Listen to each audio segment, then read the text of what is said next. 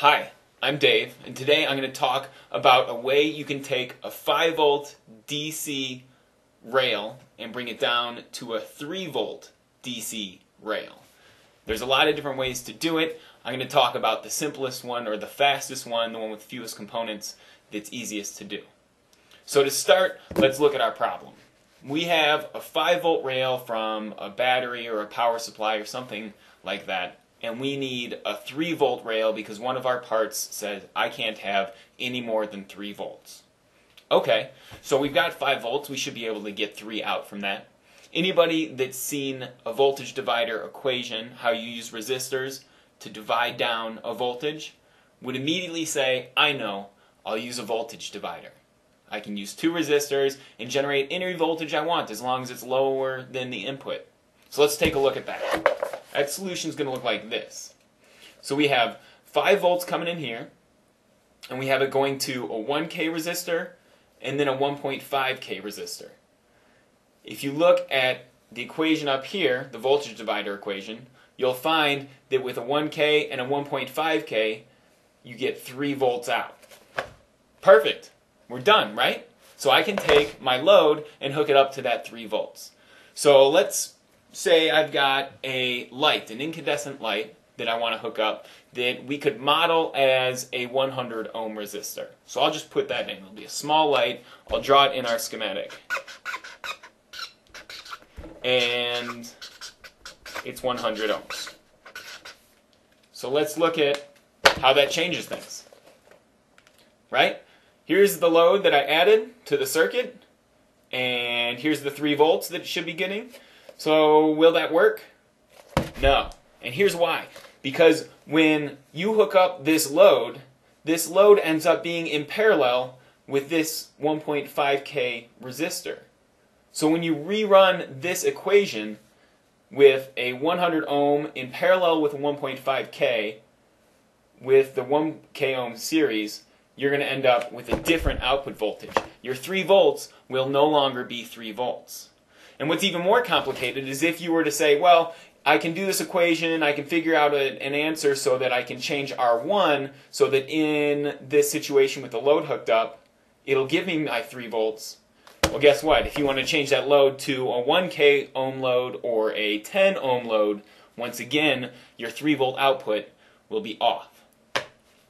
That's not going to work. Not in all cases. So, wouldn't it be great if someone invented a variable resistor, something that would allow you to put in this design. So I've got a 5 volt input here, just like before, and then we have this magical part here, this variable resistor. And then we don't even need a bottom resistor that is set. We can just use our load as the bottom end of the voltage divider.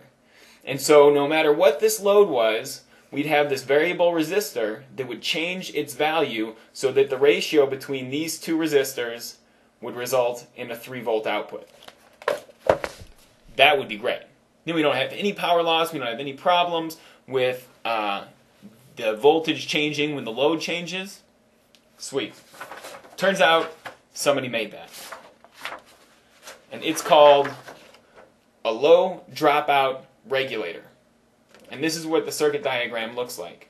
The way it works is it gets its 5 volts here, and then it puts out a voltage that's almost as much as 5 volts or lower, and it will give you whatever voltage here that you program with this two these two resistors. So you set up a voltage divider here, and this will do what it takes to make the adjust pin, that's this third pin here, this part will do what it takes to make the adjust pin equal 1.2 volts, or whatever that adjust pin happens to want to be. You can look it up on the data sheet.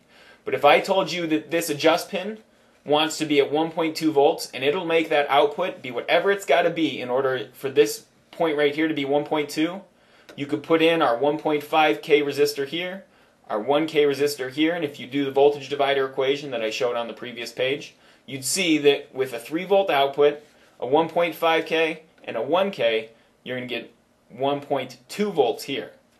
Everything would be happy. So let's run through that again. The power goes through this 5 volt pin to the output pin, and it decides how much of a resistor this will look like, you can imagine there's a little guy in there with a knob on a variable resistor here. It could look just like a resistor. This would be the same thing. Where somebody's going to change that resistor for you every time your load changes in, only, in order to make that 1.2 volt adjust pin stay where it is. Perfect. Now that's a solution that you can depend on. It's something that will work in almost all cases. It's very easy and it only takes three parts. The LDO and two resistors. And maybe a couple capacitors depending on the resistor that you get and the LDO. That's an LDO. That's how you take 5 volts and knock it down to 3 for whatever you need. Hope you enjoyed the video.